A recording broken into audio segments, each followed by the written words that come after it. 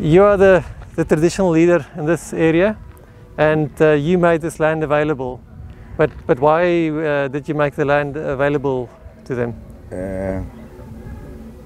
uh, we heard that the, the, the, the, they want to build a stadium this side. They come to the uh, Territorial Council uh, to, to ask the site. We gave them the site to, to, to do this project here. Uh, so that when they finish here, uh, the, the, the, the, the municipality, Makhado municipality, will uh, maintain, maintain this uh, site. We at the, and it, it will be called the uh, Heni Mulaudzi Stadium. Mbulaeni Mulaudzi Sports Complex. Sports Complex. Yes. Um, and uh, where we're standing here now, hopefully in a couple of months' time there will be eight lanes, an athletic stadium, uh, and this whole area is going to be transformed. Exactly. This, Uh, this is what we are, we, we are, we are hoping for, and we are doing our best to make sure that it, it happens. Um, you, you mentioned the, the, multi-purpose uh, courts, so there will be uh, four of them altogether. Yes. But now we have just construct one, which is a multi-purpose uh, court that uh, can play uh, four codes of sport inside one. Okay. It can uh, play uh, tennis, volleyball, uh, basketball. It has been designed to, do, to, to, to play those uh, sports code in one court. That is why it's called a multi-purpose court. Yes. Yeah, but uh, beside that, we are going to construct uh, another three combo courts. Okay. We're going to have two tennis courts on that three that are coming, and uh, we, we, we, we, uh, we're going to have another basketball court. Okay. Uh, y- this uh, other project that uh, uh, we, are, we, are, we are talking about now, which is an eight-line athletic track, uh, it started on the 30 April.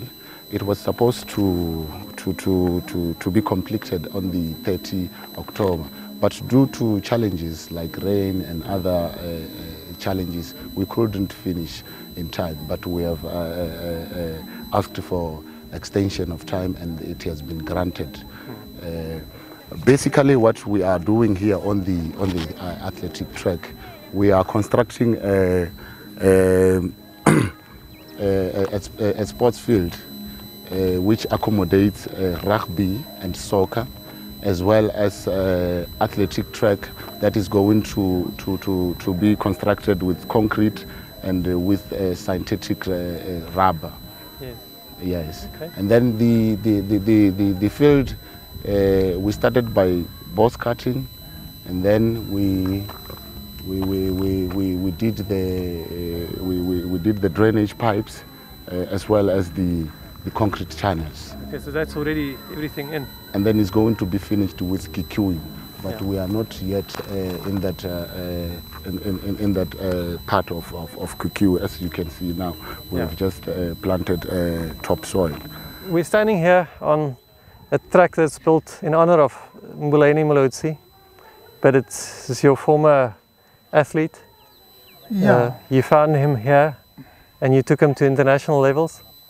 yeah. Actually, I, I, I identified him. He was not actually an, an athlete. He was a soccer player. So I had it in my dream because I'm somebody who's got vision that this was the one who was going to be the world number one. And the, even in my previous interview, I indicated that now. I just followed him and uh, what you call articulate my dream to to him and to the parent. And lucky enough, at the end, they agreed. And I just said they must give me uh, only a year or one year, six months. Then I would have already made him a champion for the junior, which I did. And uh, yeah, I'm a hard worker, I'm a visionary, and I'm driven by passion to do my work. You, you told me that if you look at that way, uh, of they- the the back those hills, Yeah, that hill, that's where we do endurance, speed training. A lot of things are happening there. Not only there, Yeah. even down the river there. Winter, we spend too much time in the in the river because Oh. we, we like so that we must your your your what you call your lungs must be able to have what you call endurance, where you are like training in a very cold area. You come and train where what call where it's very hot. Then your bronchioles can like it's like if you can understand as you're running, the moment you uh, arrive at the home straight where other are very tired, as you breathe, you feel that now you, your lungs are heavy. So the two conditions, hotness and what you call in the extreme, then they sort of gear you to the right direction again. Remember, in the past for Malauzi, they have been conditioned to run what you call on gravel, and, and as they go to the competition, a different atmosphere. For the young kids who are we're, we're like we're going to start all right hmm. on the proper surface, so when they go to competition, it will no longer like they are going to be overwhelmed by the situation. They, they will be running on something that they're used to. So we're going to do it properly and it's going to take athletics to another level. We are going to take it to another level. So we can prepare for uh, a dozen or so more Mbulaeni Mulaudzis. Big is coming. You're uh, from the Makhado Local uh, Council, a councillor, and I mean, obviously, this must mean a lot. Uh, a stadium uh, which they hope to be of international standards in your own uh, area. What do you think it'll mean for the young people specifically of this area? Okay, thank you. As a ward councillor of Ward 24 Makhado municipality, yes, we are happy to get this facility in our ward because they will keep our children busy, leaving drugs and whatsoever. So this stadium, it will be successful to us as a Makhado municipality. Have you got a rough estimate how many people were employed uh, in the first stages of these of this project? Uh, firstly, we we ever have a project of a, a combi court, Yes. tennis court that side. Uh, we we employ plus or minus eight people, and then after that, at this uh, project, we have employed.